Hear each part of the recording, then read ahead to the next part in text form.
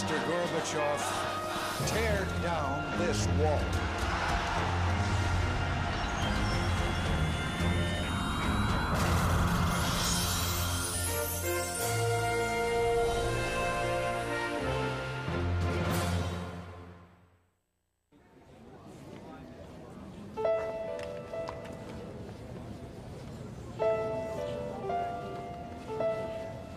More people now visit the Vietnam Veterans Memorial in Washington than any other single site in the nation's capital.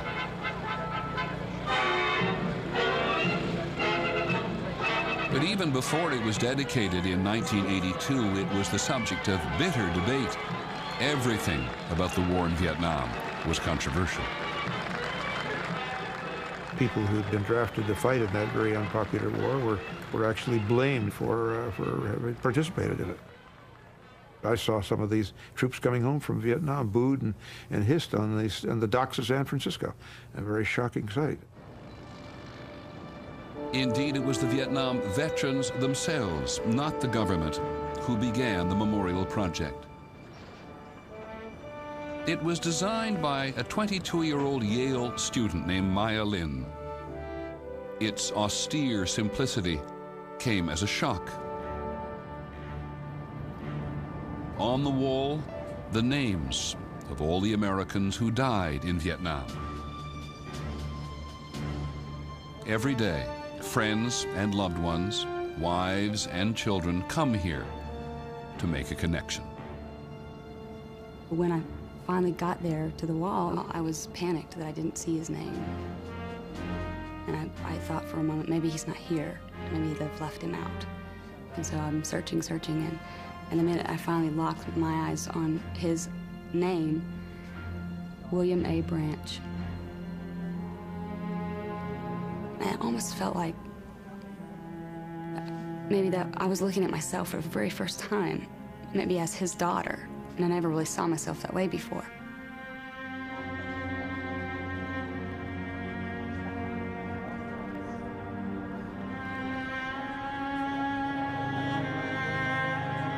Among those who leave mementos and tributes at the wall are the Vietnam veterans who survived. Dennis Mannion was there on Veterans Day in 1982 when the wall was dedicated. I just, I don't know, I just had to go. I knew people who were going to be on this wall. William Huff, Michael Hiller, Jim Rice, Benjamin Fordham, Malcolm Mole, Melvin Rimmel. I mean, I knelt right down in the ground when I saw Malcolm Mole and Melvin Rimmel. The last time I saw either one of them, I was kneeling next to the bags that they were in. Behind every name, there's a story. Captain Hartley, a real gung-ho guy, and he just couldn't wait to get into combat. That was his biggest goal. I remember his tank going by, and he was covered, but he used to wear these skin-tight black gloves. And you could see this arm going by with the black glove on the hand, and I just, I was crushed. You can see your reflection in the wall. To have your own image somehow superimposed behind the names is eerie and also comforting in that you can be with friends one more time.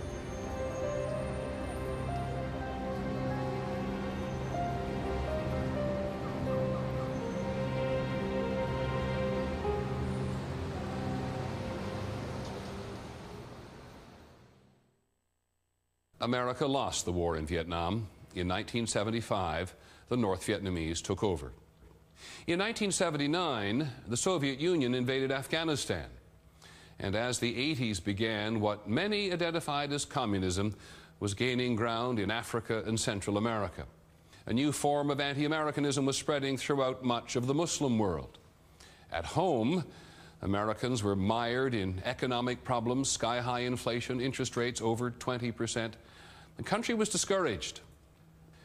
But Ronald Reagan, with his infectious optimism, persuaded Americans that their country could overcome the humiliation of Vietnam and was destined again to be as it had once been the world's military, economic, even, he said, the moral leader.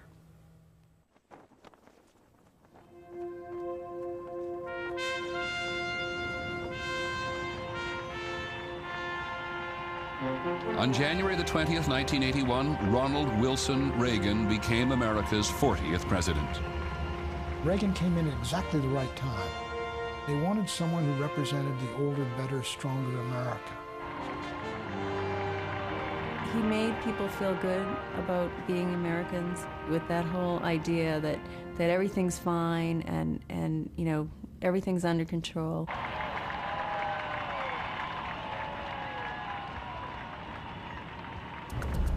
But only two months after the inauguration, the country's newfound sense of hope and purpose seemed suddenly in danger.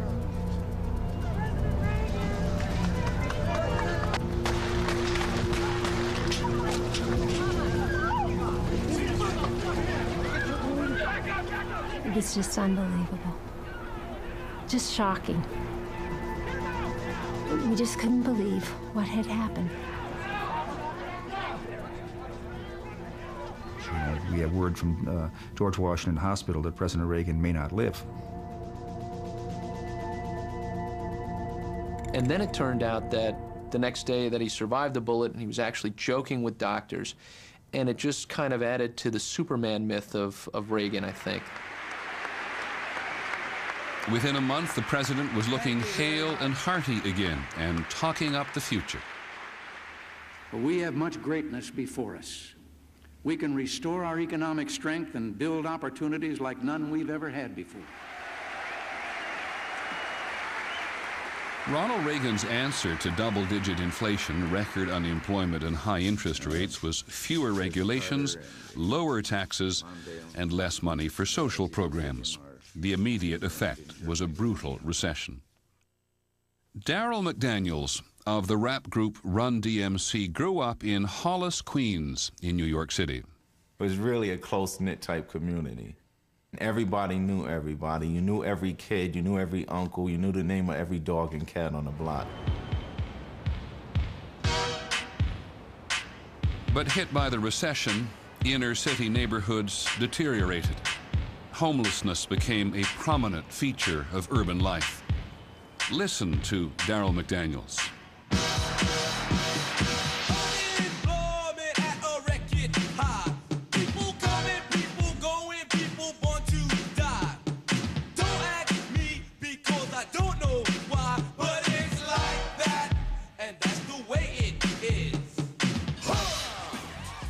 Came off the road in 1986, I mean, it looked like a war zone, like a battle zone, like somebody dropped the bomb.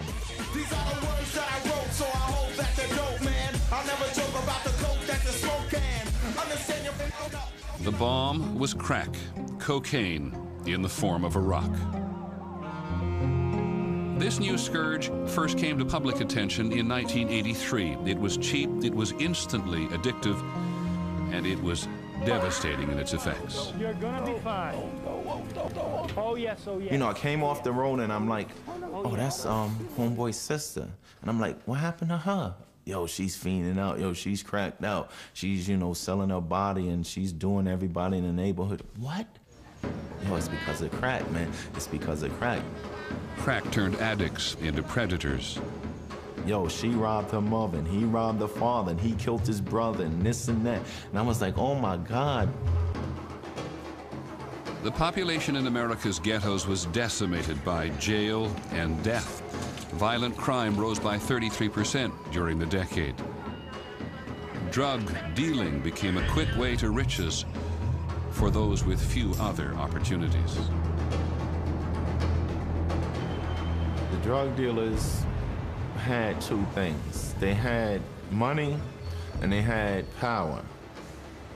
Because you look in this guy, he's 18 years old, he's driving a Mercedes Benz, he got big gold chain, diamond rings all over the place. What does he do for a living?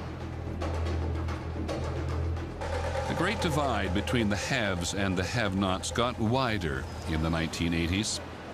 In the world outside the ghetto, there were now new legal ways to get rich quick.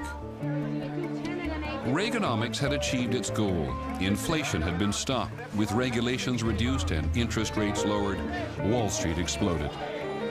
This was the beginning of the roaring 80s. When I started brokering government bonds, I was 23 years old. I was making $75,000 a year. Chris Burke, a former waiter with a high school education, went to Wall Street and joined a new class of wealthy, young, urban professionals. In the acronym of the time, he was a yuppie.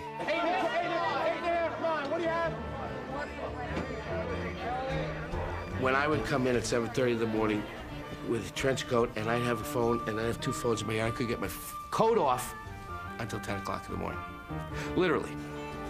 I mean, it was, back then, it was wild. By 2 p.m., the roar in the bond trading room, fueled more by fear than greed, was unearthly.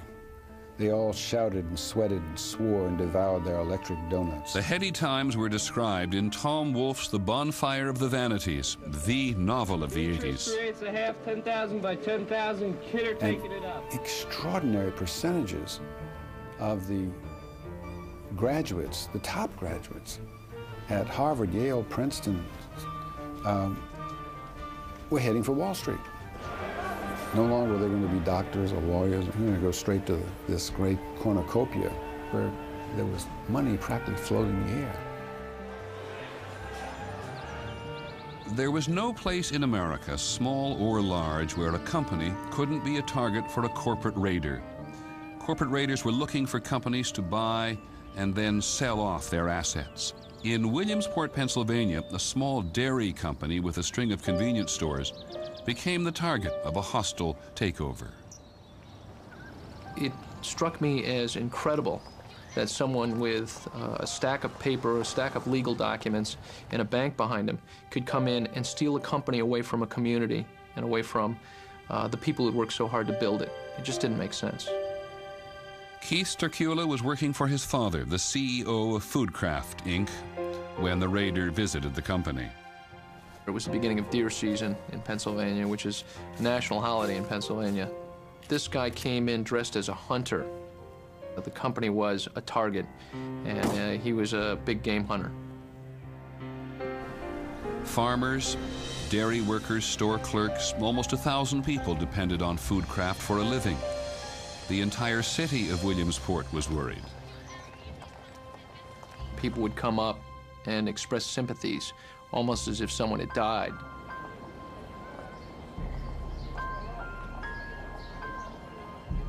The company fought back, trying to persuade every individual shareholder not to sell to the raider. A year and a half later, at a shareholders meeting in 1986, the company's fate was decided. It's, it's kind of like the Academy Awards, where it's like somebody's going up there and opening up an envelope, and you don't know what the outcome's going to be. I thought the company was going to go. And I looked over at my father, and he had his poker face. And the votes were coming in, and we realized that we had won. I said, you know, David beat Goliath in this one. It was the exception, of course. Many wage earners were crushed, and many companies destroyed in the greatest wave of corporate takeovers in American history.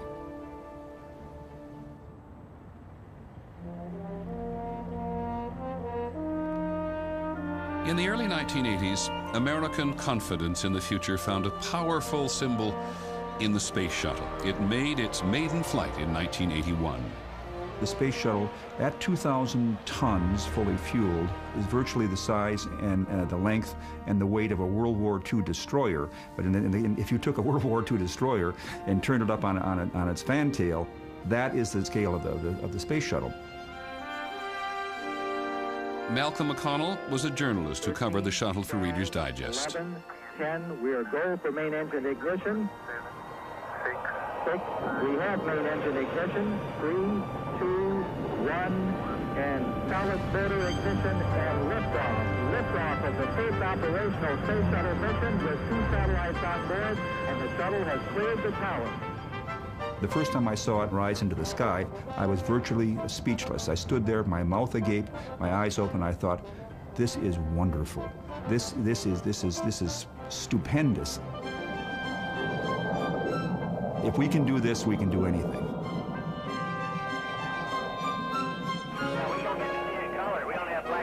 The world could now watch as the shuttle launched communication satellites into orbit. There were already many there. And with every new satellite, the world grew smaller. The remotest place was now just a phone call away. We had actually figured this out and built something that allowed us to manipulate the trillion dollar phone system around the world. We'd go to a payphone and we we take a, a, cable to White Plains, a satellite to Europe. We go over to the Turkey satellite station, take a satellite back to Texas, and we'd actually loop around the world three or four times and call the payphone next door. And so you could shout into the phone, and about 40 seconds later, you'd hear it on the other phone. And it was, it was patently illegal, by the way. We were lucky we didn't get caught. Stephen Jobs and Stephen Wozniak would bring computer technology into the 1980s, such a far cry from the 50s and 60s. The computers at that time were as big as this room we're in right now, if not bigger. They were custom made. You, couldn't, you could not just go out and buy a computer. They were enormous instruments, enormously expensive. Developed by the military but also put to use by the bureaucracy, computers, some Americans worried, could be used by the government to monitor or even control the lives of its citizens. Just like Big Brother in George Orwell's most famous novel. It was in 1948 when Orwell wrote 1984. But he was overly gloomy about the resilience of, of, of democracy. Wozniak and Jobs and their fans had a dream make computers available to all Americans. There was going to be a computer in every home, and it was going to change the world. We talked about how people were going to be empowered.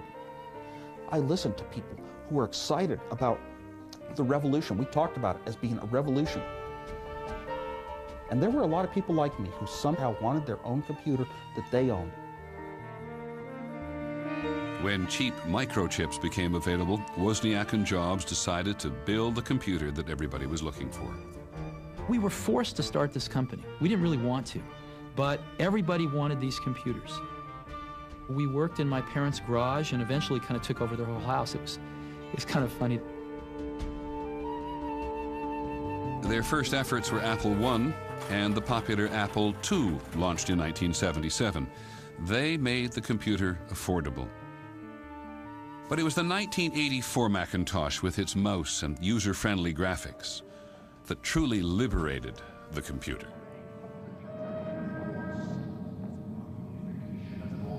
On January 24, Apple Computer will introduce Macintosh. And you'll see why 1984 won't be like 1984.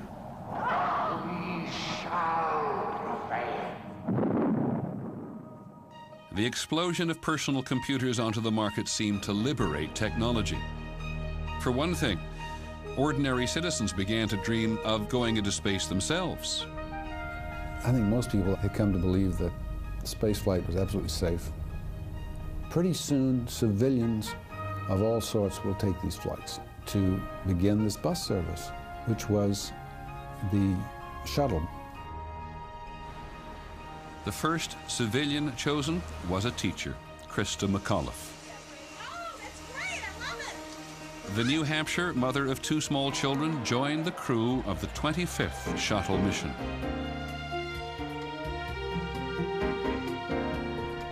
The launch from Cape Canaveral, Florida was set after many delays for January the 28th, 1986. For Florida, it was an unusually cold morning, 27 degrees. T minus 15 seconds. We were quite surprised to hear that the, the, the countdown was proceeding ahead. No shuttle had been launched in weather that cold. Seven, six. We have main engine start. Four, three, two, one. And liftoff. Liftoff of the 25th Space Shuttle mission. As the shuttle cleared the tower, and the first shock waves of sound began began to pound the press grandstand, the roof bouncing up and down, the plywood under your feet bouncing, the, the shock waves hitting your chest. At that point, we were all standing up, we were all screaming our heads off, go. I mean, any sense of professional composure was, was lost.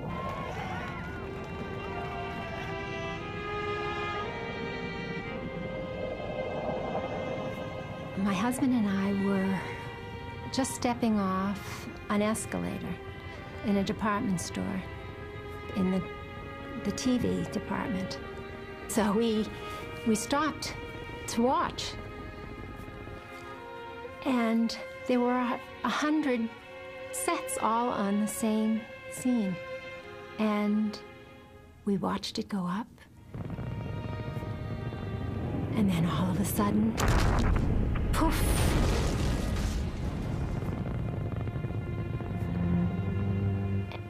And we just couldn't believe it.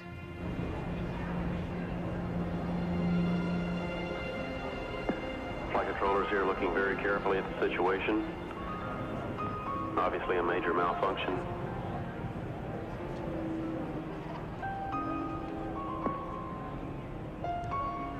I felt a sense of utter cold doom virtually flow over me.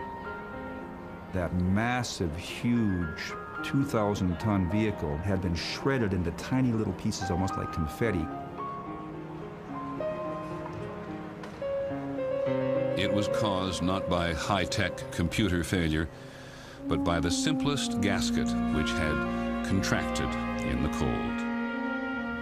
Just for those lives to be gone in a flash, just gone. It's, it's unbelievable.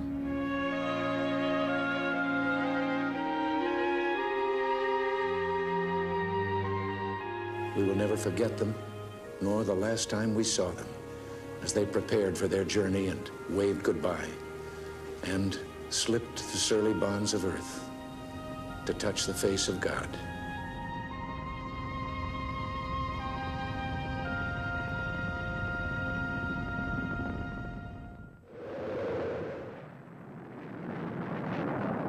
The 1980s was a decade of pushing boundaries. Ladies and gentlemen, rock and roll. 1981 saw the premiere of round-the-clock music television. it was great. Um, my mom thought MTV was the spawn of Satan. The PTL Television Network presents. Competing for the attention of television viewers was a new breed of televangelists who preached a mixture of old-fashioned religion and modern entertainment.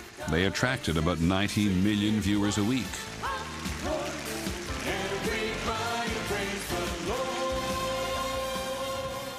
I thought they were unique.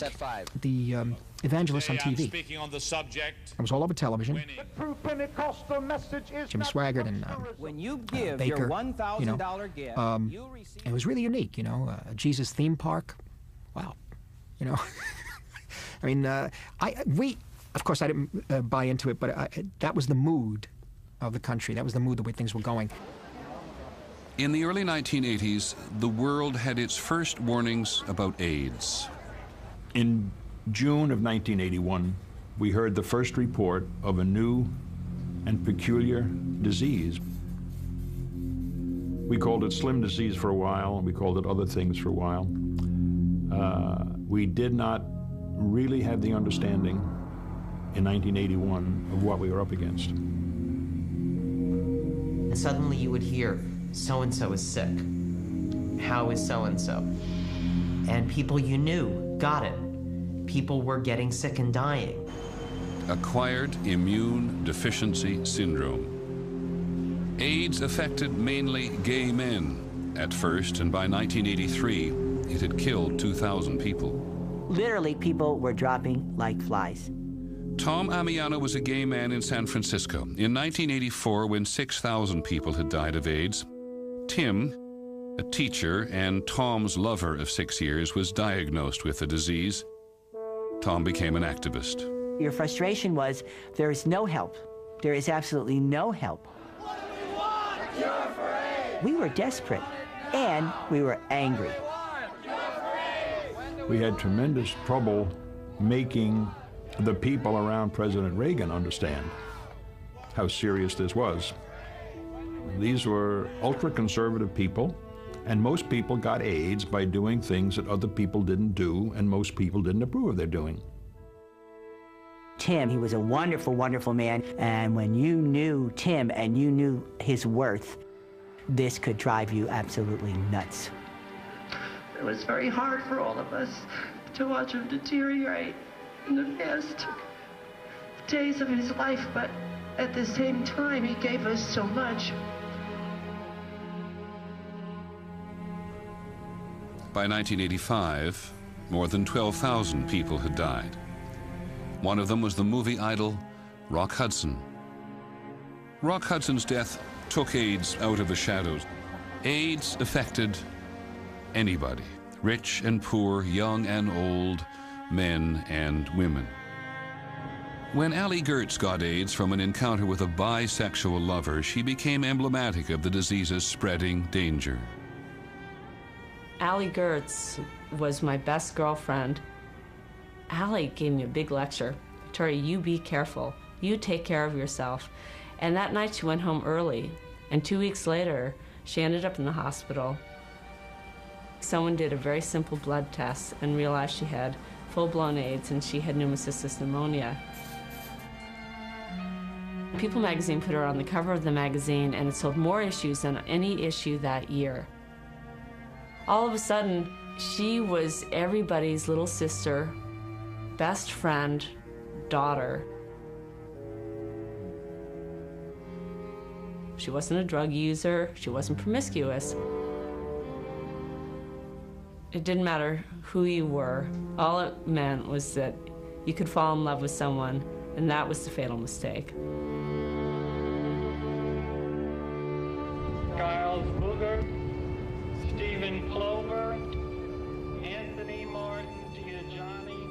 In 1987, people who had died of AIDS got their memorial. A quilt which showed the magnitude of the nation's loss. More than 40,000 Americans. Alex Murphy, Jerry Parker. I think that for, for my generation, AIDS was the equivalent of World War II.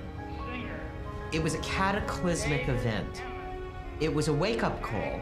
We had pushed the boundaries of behavior so far. And here was nature coming up with a way to say, you've gone too far. And our dear son, Dr. James Holleran III. By the end of the decade, almost 100,000 people had died in the battle with AIDS, and it was not over.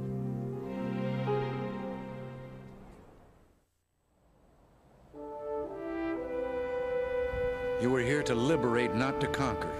And so you and those others did not doubt your cause. On June the 6, 1984, President Reagan and some of the D-Day veterans commemorated those who died for freedom on the beaches of Normandy. You all knew that some things are worth dying for. One's country is worth dying for, and democracy is worth dying for because it's the President Reagan saw the struggle with the Soviet Union in the clear-cut terms of World War II. Good versus evil. The Soviets were willing to pursue a very aggressive foreign policy, and indeed their foreign policy, they were quite frank about it, was world domination. This is a Soviet intercontinental ballistic missile, or ICBM, which can reach the United States 30 minutes after launch. I remember standing out in the street of my house on a, on a fall afternoon with the dark clouds and thinking, wow, there was this huge presence on the other side of the world that was out to get us all. What if free people could live secure in the knowledge that we could intercept and destroy strategic ballistic missiles before they reached our own soil or that of our allies? The President's Strategic Defense Initiative, SDI, or Star Wars, was part of his effort to neutralize communism everywhere. In Nicaragua, he supported the Contras, who were trying to topple the Soviet-supported government. In the tiny Caribbean island of Grenada, he quickly crushed a communist coup. And at home, he started the greatest peacetime defense buildup ever He made people feel good about our country, that it was strong economically and strong in defense, and that you felt like he could protect you from, you know, the, the Russians and these other countries. But the world remained a dangerous place. On June the 14th, 1985, TWA Flight 847 took off from Athens in Greece on its way to Rome. A few minutes into the flight, I look up and there are people walking down the aisle, yelling, head down, no talk. And I didn't know what was happening, really. The flight was hijacked by two Muslim extremists with ties to the Ayatollah Khomeini in Iran. Their latest demand is that all Shiite Muslim prisoners being held by Israel be released. And I'm watching this, and all of a sudden my brother walked in the door, from, came downstairs, and he said, Mom is on that plane. Paula Sukforth, the mother of six, was one of 153 people on board, most of them Americans. They were going to kill someone every five minutes if their demands weren't met. The hijackers forced the plane on a frightening odyssey from Athens to Beirut to Algiers and back to the darkened airport in Beirut, where the plane was refused permission to land. He has pulled a hand grenade pin and he is ready to blow up the aircraft if he has to. We must, I repeat, we must land at Beirut. You have no permission to land Beirut. The airport is closed. I expected that we were going to crash. So this is how it was going to end. When things looked absolutely hopeless, the runway at Beirut was finally cleared. But the crisis was far from over. TWA 847, they are threatening to kill the passengers. They are threatening to kill the passengers. Their first victim was Navy diver Robert Stethem. I just can picture the, that body coming out the door and landing on the tarmac. And then thinking, oh God, they're, they're actually killing people. I wrote my name and address and telephone number on my stomach, just in case I was found dead somewhere. Unwilling to risk more American lives, Ronald Reagan abandoned his own no negotiations policy with terrorists and worked out a deal to free some prisoners held in Israeli jails in exchange for the TWA hostages. I didn't expect the United States to negotiate. In hindsight, I'm glad they did.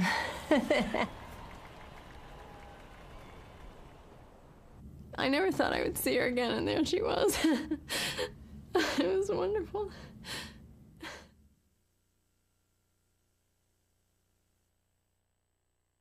Summer of 1987 was not a good one for the Reagan administration.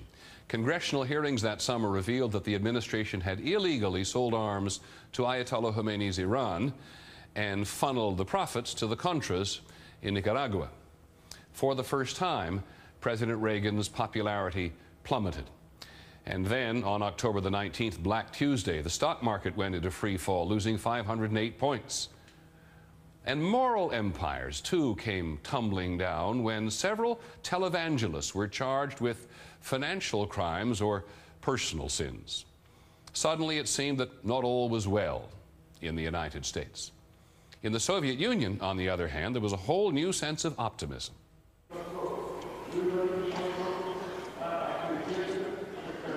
After a succession of old men and old style rule, which had left the Soviet Union in deep stagnation, a vigorous new leader, Mikhail Gorbachev, came to power in 1985.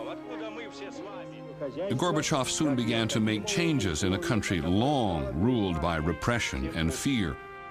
He instituted glasnost, or openness, and suddenly there was freedom of speech. It was discussion openly. And I, I was there. I was right in the middle of it. It was something absolutely incredible. Alexander Zhurbin was a composer who had a studio in Moscow's Pushkin Square. At the time, it was a center of political discussion. Thousands of people. One said Gorbachev is uh, terrible, he is scoundrel, and I said, no, he is a great man, we have to support him. It was times when, you know, all the hopes are were up. You know, we just were absolutely overwhelmed. But Gorbachev's attempt to restructure the Soviet economy, perestroika, did little to shorten lines for the paltry number of available consumer goods. Soviet hopes for material progress demanded cutbacks in their defense spending, and this led to a series of summit meetings with President Reagan. The first one was in Geneva in 1985. The next one was at Reykjavik in Iceland. On a weekend in October 1986, the leaders got down to the serious business of disarmament. And they were negotiating, frankly. They were, both sides are going to give up all their nuclear weapons. All their nuclear weapons. President Reagan's director of communications was Patrick Buchanan. I just couldn't believe that a decision of this magnitude was being made by two men on a Sunday afternoon. It was late in the afternoon, they'd taken a break, and so I got right out there. I wanted to see exactly how he looked. He looked as tough as any customer I have seen. We're not through. And Gorbachev told Reagan, we're going to do the deal, but you've got to give up SDI. The Soviets had spent a trillion dollars building the greatest land-based missile force on Earth. And here was Ronald Reagan, who was developing a system that was going to turn it into junk. And they believed he could do it. Ronald Reagan slammed down his hand on the table, got up and left. No. That was the end of the summit. But not of good relations between the two leaders. A year later, Mr. Gorbachev came to Washington. Sidestepping the issue of the Strategic Defense Initiative, the leaders signed a more limited arms reduction treaty. Mr. Gorbachev was very popular in America. Gorbachev's motorcade came around the corner on the Connecticut Avenue, and suddenly the motorcade stopped. And then the door opened, and Gorbachev got out and began working the crowd along Connecticut Avenue like an American politician. People around me were rapt. I remember a young woman uh, looking out through the crowd and smiling on her face, and she said, God bless you, Mr. Gorbachev.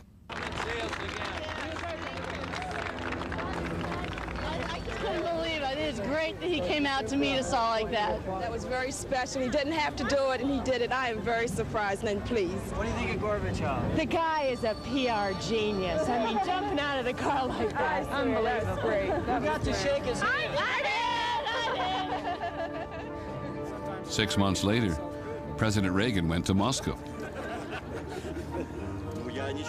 There was a sense that this long nightmare of, of uh, the, the, threat of nuclear holocaust, of the, of the, the Cold War, somehow that, that was coming to an end. We find ourselves standing like this. we meant to change a nation, and instead, we changed a world.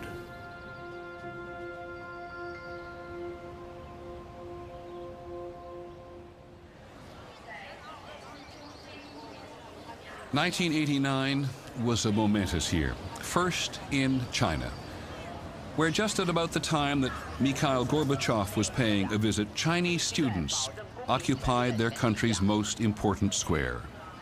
What I'm seeing on television cannot be happening. Chinese students marching into Tiananmen Square uh, carrying a large plaster goddess of democracy, very similar to the Statue of Liberty. In the heart of the largest communist country in the world, the American symbol of freedom towered over demonstrations for democracy. That clearly was a historic, significant event. I had a feeling it wasn't going to last very long. And it did not. On June the 4th, the demonstrations were crushed. Hundreds of people were killed. But what the students and workers had attempted would change China forever. All over Eastern Europe that summer, democracy movements were gathering strength. Poland was gearing up for free elections. It was happening in Hungary and Czechoslovakia, and behind the walls in East Germany, there were pro democracy demonstrations. People were demanding change.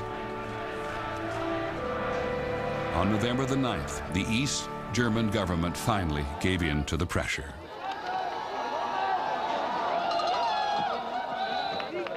You wanted to see what's really behind the wall. What have they been hiding over there? And it's just people on the other side, waiting to see loved ones. The Berlin Wall was breached. The Iron Curtain had been lifted. The hopes for freedom kindled by Gorbachev's reforms in the Soviet Union proved mightier than walls.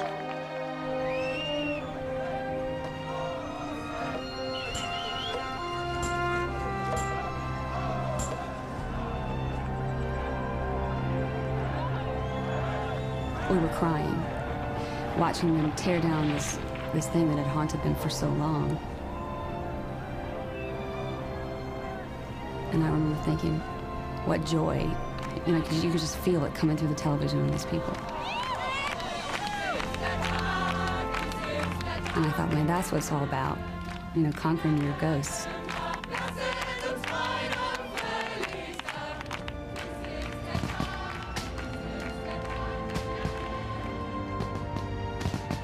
having gone into war to prevent the spread of communism, and now, a decade and a half later, the wall comes down, it causes you to stop, it caused me to stop and think, wow, this sacrifice that people made, 58,000 in Vietnam, I don't know the statistics from Korea. I think they made a contribution. It would be too heartbreaking to think that they didn't.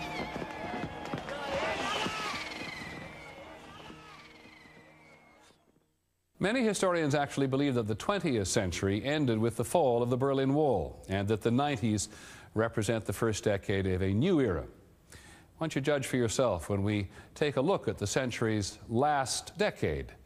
That's the next episode of the century, America's Time. Thank you for joining us. I'm Peter Jennings.